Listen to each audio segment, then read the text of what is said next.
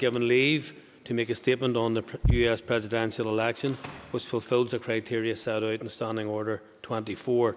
If other members wish to be called, they should do so by rising in their places and continuing to do so. All members will have up to three minutes to speak on the subject. I would remind members that I will not take points of order on this or any other matter until this item of business has finished. And I call Ms Michelle O'Neill. and thank you for granting um, this matter of the day. There are very few of us that, um, who were not witness to the unfolding presidential race across the Atlantic last week and its culmination at the weekend when Joe R. Biden was formally announced as the 46th President of the United States of America. I want to extend my warm congratulations to the President-elect and also to the history-making Vice President-elect Kamala Harris as they prepare to take up their office on January the 20th, 2021. We are inextricably linked with the US through our history and by family and economic links.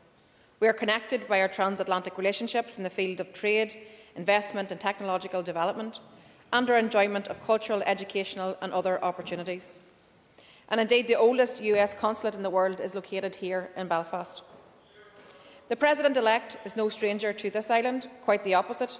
He is a friend to Ireland and to proudly celebrates his Irish-American roots, both north and south. Joe Biden is a key supporter of our precious peace process and he has shown that ongoing commitment, in particular to the institutions established here in the North under the Good Friday Agreement.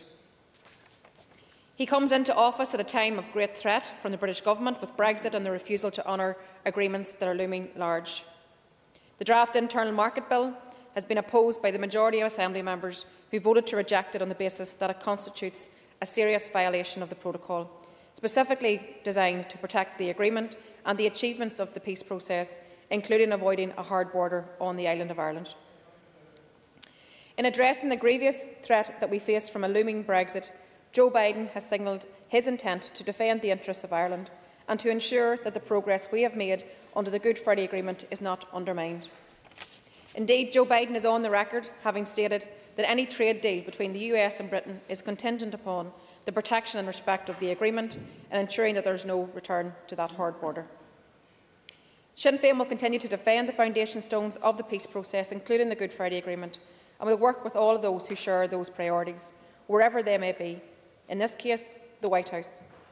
I look forward to working with the new President and his administration to ensure that the Good Friday Agreement is protected and its transform transformative potential is fully realised.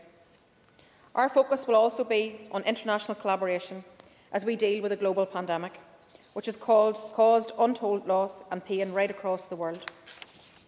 I look forward to the possibility of welcoming Joe Biden in the future as the President of the US to the North, where we can assure him the warmest of welcomes. Finally, Ceann Comhairle, it would be remiss of me to not pay a specific mention to the history achievement of the Vice President-elect, Kamala Harris.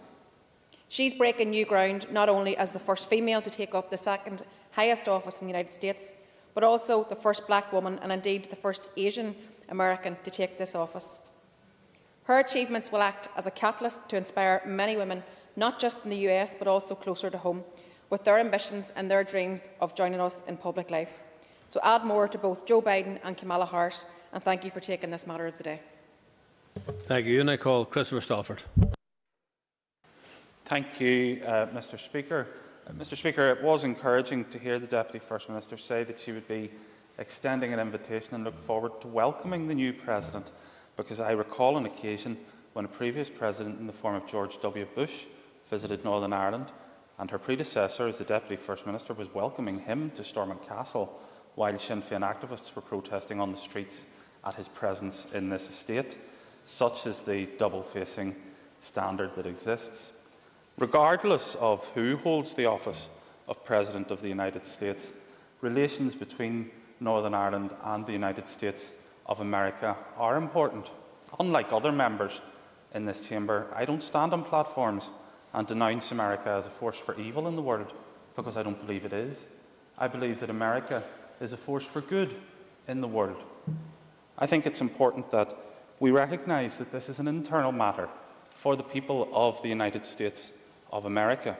And whilst it is true that they have made their choice, it is our responsibility to work closely with whomever is in office, because Northern Ireland benefits from the relationship that we have with the United States. Indeed, a quarter of the people who have held the office of President can trace, or their families can be traced, directly back to Ulster and this part of the island.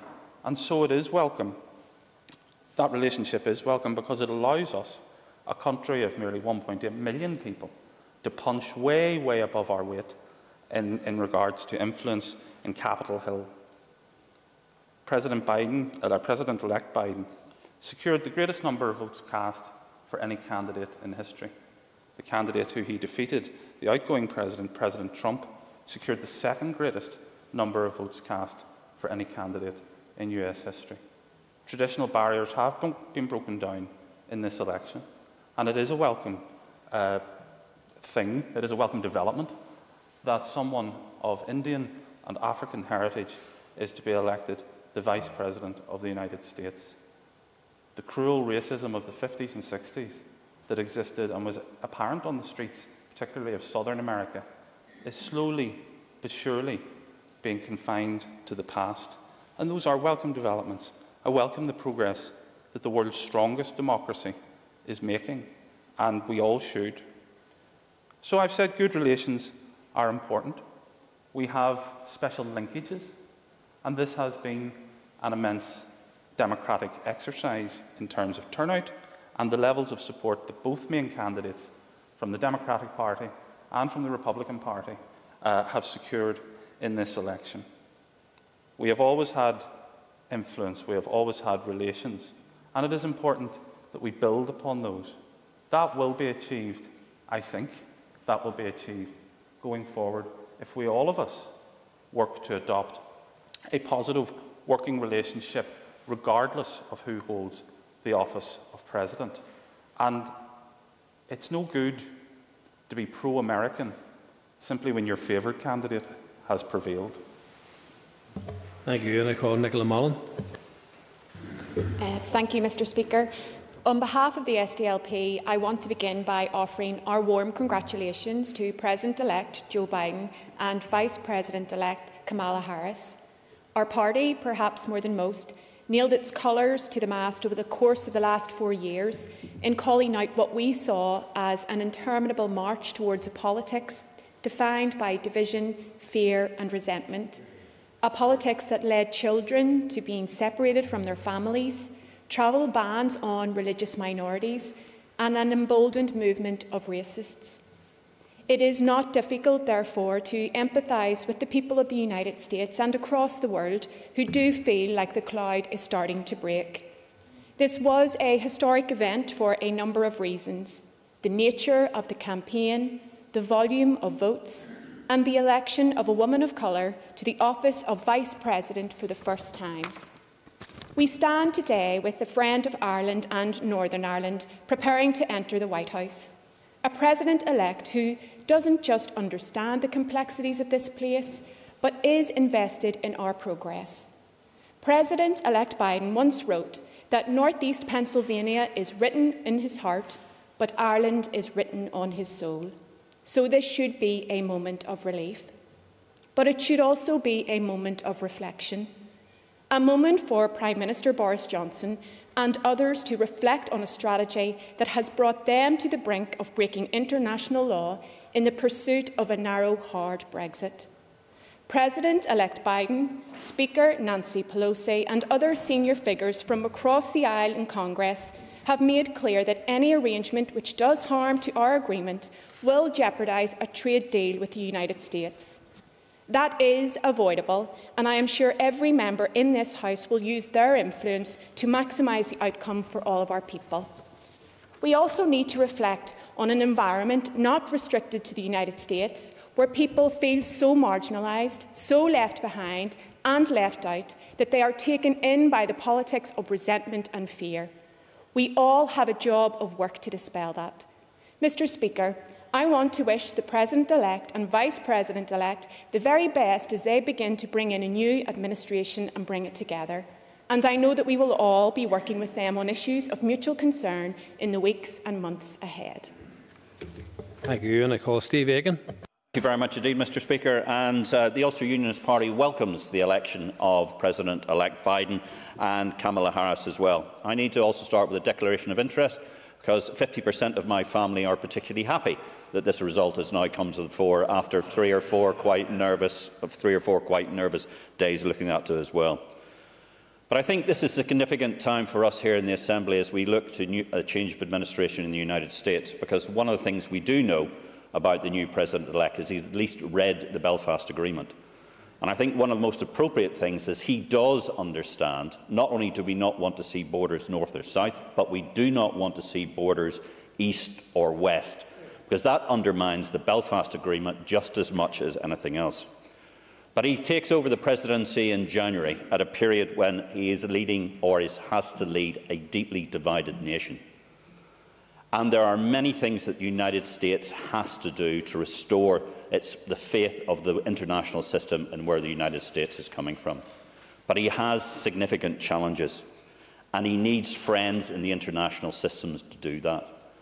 And bearing in mind the issues he has in Turkey, Armenia, Iran, Somalia, Yemen, Afghanistan, Venezuela, Cuba, one of the most significant issues that he has to deal with is the issue of security. And that is even before he has to deal with Russia and he has to deal with China. He needs friends in the international system. He needs those friends who bring real hard power to the equation. And one of the things we have to realise is the United States has a massive security challenge. And what we want to see, particularly in the United Kingdom, is we want to see the United States renew its commitment to NATO and renew its commitment to security across the international system.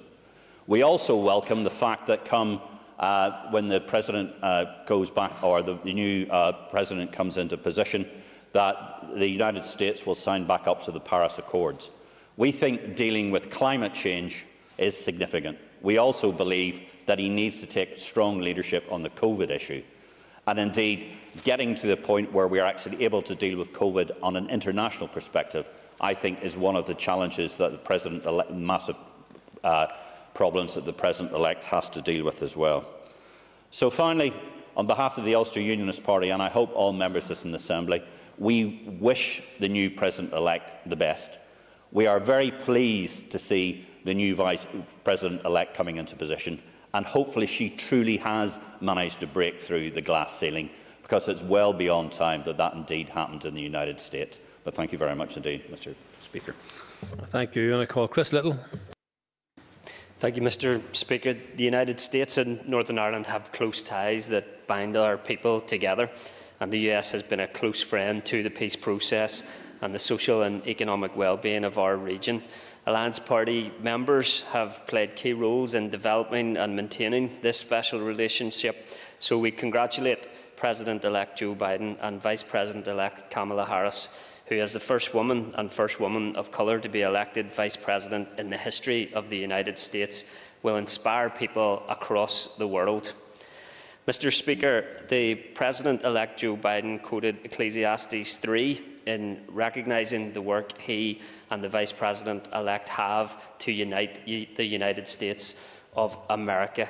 He said, indeed, it is a time to heal um, I believe the Alliance Party and indeed the people of Northern Ireland will get fully behind that task and continue to work closely with the people of the United States to ensure that indeed it is a time for healing, a time for peace and a, for, a time for progress for both our peoples. Thank you. And I call Jim Allister. Thank you. Mr Speaker, there's a supreme irony that this House this morning is celebrating the fact that the uh, people of the United States, by a democratic process, are changing their government. The irony, of course, is that this House is the epitome of the very opposite. This House stands for the principle that you cannot change your government, that you cannot vote a party out of government. What we witnessed in the United States was the people of the United States deciding in their democratic uh, fashion and, and right to change their government. What a contrast with this place, where because of the iniquity of mandatory coalition, you can never change your government. You can never vote a party out of government, so long as that party holds on to a handful of MLAs. So it is a supreme irony that without the least blush of embarrassment, this House rises to celebrate the fact that others can do what those who have spoken to date determined we should never be able to do, namely change our government. And of course, the absurdity of our system of government is further illustrated by the fact that if they had the system we have in the United States of America, then we would have joint presidents Joe Biden and Donald Trump.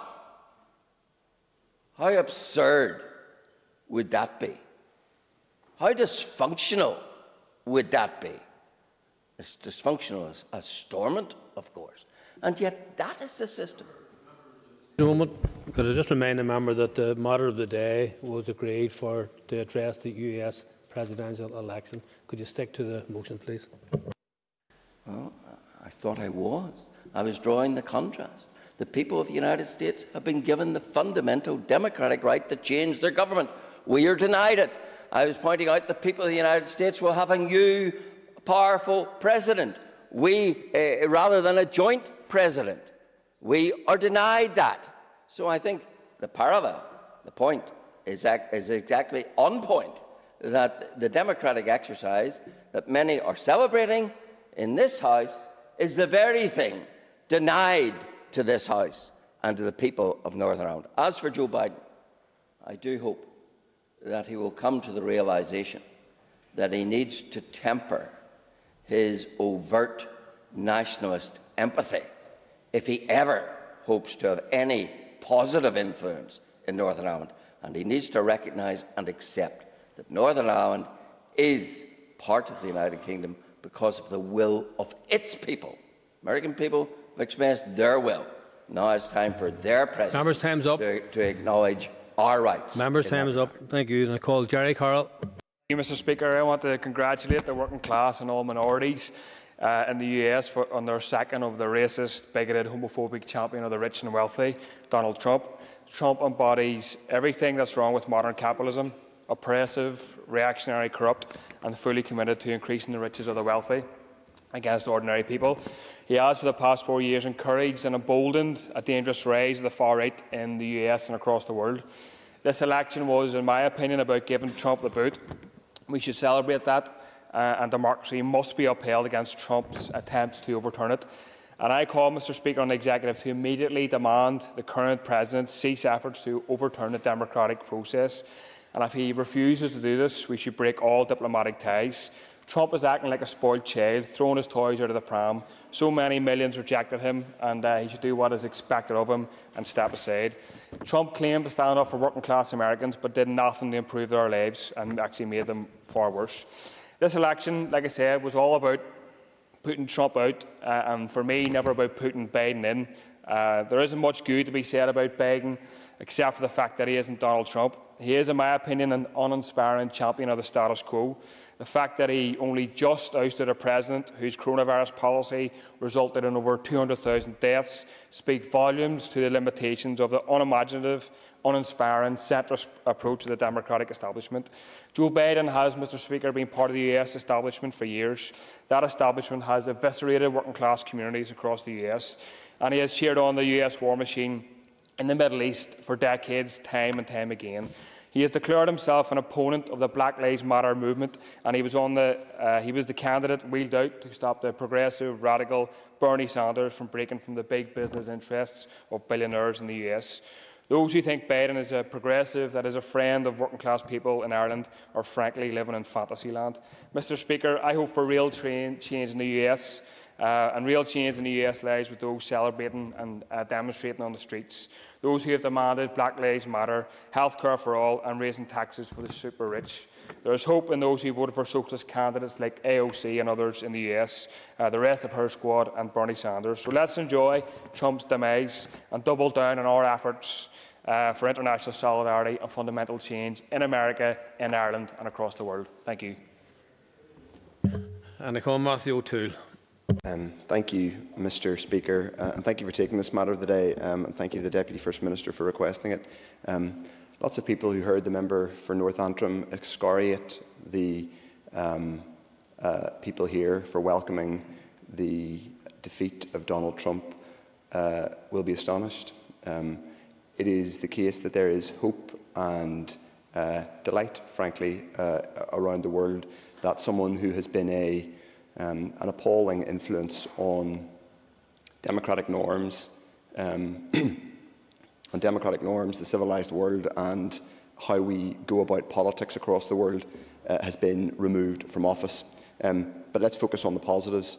Joe Biden um, cares about Northern Ireland. He cares about the entire island of Ireland. Indeed, I would go so far to say that he cares about uh, stability and um, good government across these islands and across the continent of Europe.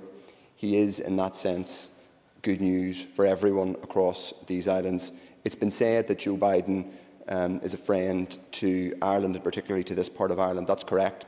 His great grandfather, his great great grandfather, I believe, left the Cooley Peninsula to travel to Newry to get the boat to North America around 150 years ago. It would be great if uh, Vice President, President-elect Biden was able to return and see what we hope to be the, the developing Narrow water Bridge at some point in the, in the years in the future.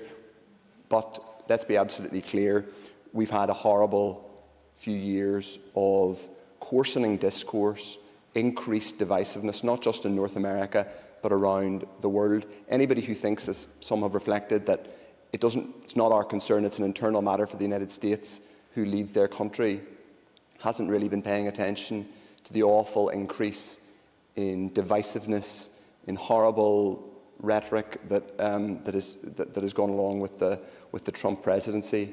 So that's why people across the world are pleased and relieved to see uh, Joe Biden take office. They're also pleased to see the transformational and historic election of Kamala Harris to the vice presidency, the first woman to be elected to the vice presidency and the first uh, woman of colour to be elected to that office too. Uh, Mr Speaker, Thomas Jefferson uh, said that every uh, man, uh, he, sadly he was saying men in those days, had two countries, their own and France. Well, these days many of us have two countries, our own and the United States, and that's because the United States inspires and sometimes depresses us all. Well, today, this weekend, has been an inspiring weekend for those of us who look to the United States. What the United States has done in relation to Northern Ireland has been critical, and let's hope that the influence of the new president will be felt, not just on this island, but across these islands in the months and years to come. Thank you, Mr Speaker. Thank you. And I call Daniel McCrossan. Uh, thank you, Mr Speaker. And I too would like to echo the words of members across the House in congratulating President-elect Biden and Vice President-elect uh, Kamala Harris. Uh, I think this is a, a great moment of hope uh, in very dark times. Uh, across the world, we have seen how Trump's influence has caused considerable issues for the, particularly the Irish-American relationships that exist. Uh, he was a, a reckless leader uh, in a very challenging time. But what I do find interesting uh, in listening to the contributions to this House uh, is the remarks by both Sinn Féin and the DUP.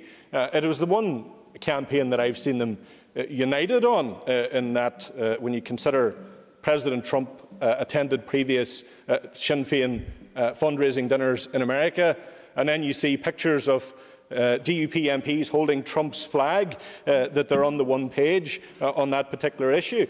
Personally, I'm delighted to see Trump vacate the, the, the presidency. It'll be an interesting uh, few months ahead uh, to see how this uh, all works out. But one thing is clear, uh, it is the right time for uh, a leadership uh, of the leadership of Kamala Harris uh, and also uh, Joe Biden. And he sends out a powerful message. Never give up. He has stood election for president three times and on the third occasion has managed to succeed. All of us were glued to our screens for the last uh, number of days. I know I certainly was, uh, and I found it fascinating just to see uh, how uh, the votes evolved across the various uh, states. It is a deeply divided country, but I do believe uh, that President-elect Biden and Vice President-elect Harris will do all they can to unite uh, the country. They certainly be sending out that very powerful message. And it also heartened me very, very much uh, to hear uh, President-elect Biden cite the words of Seamus Heaney and also put on record on many occasions that he will do everything he can, if elected president, to protect the Good Friday Agreement and to prevent as Colum Eastwood said, violence to the Good Friday Agreement. It is very clear that the DUP were supporting Trump to use him as a vehicle uh, as Brexiteers uh, to get the outcome that they so desire. I am very happy and hopeful uh, for the future with a President and Vice President of the calibre, standard and, stand, uh, uh, and discipline of Harris uh, and Biden. And uh, I, I congratulate them both and look forward to them visiting uh, the island of Ireland, north and south. Thank you, Anna Call. Justin McNulty. Guramayagut Corla. Congratulations, President-elect Joe Biden.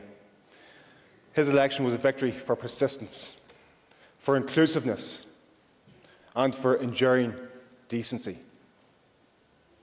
His election was a victory for democracy, and most importantly, his election was a victory for hope in these dark times.